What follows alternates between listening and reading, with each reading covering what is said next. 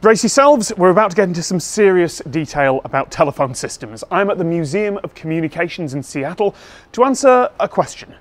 In old Hollywood films, when someone is on a phone call and they get hung up on, why did they hear a dial tone?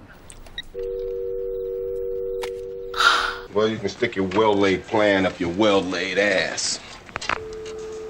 Supervision is the word that describes how a telephone switch knows whether the calling and called parties are on hook or off hook. When you end a call and hang up, the equipment receives that on hook signal, and anything that was in service at that time disconnects and goes back to its normal state. So you end up with dead air.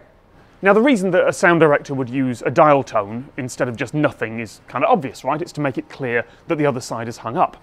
That's certainly what lots of people argue online, except they could just do that using one short sound effect, and sometimes they do. Don't ever call me again. Wow. I, I guess you're home. Good luck.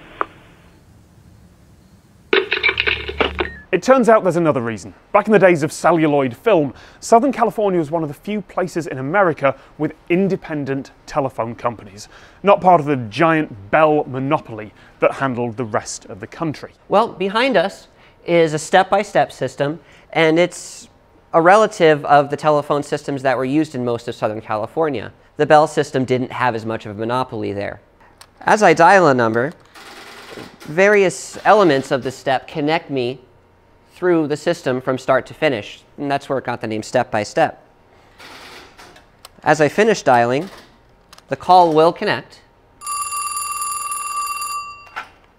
and it can be answered. Now, in the step system, it doesn't have what's called far end supervision. And that means that the called party can hang up and pick up again as many times as they want, and the call won't disconnect. But if the calling party hangs up, the called party will get hit with dial tone right away because the system doesn't know whether I've been hung up on or whether I just picked up the phone.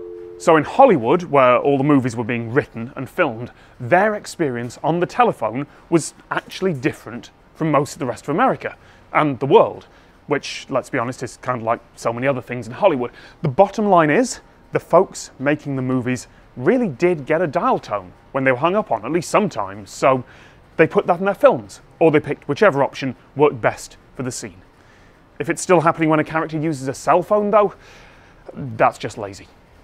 Thank you to all the team at Seattle's wonderful Museum of Communication. You can check out their YouTube channel over here or pull down the description for a link to the museum and to see their opening hours and a list of all the incredible equipment they've got here.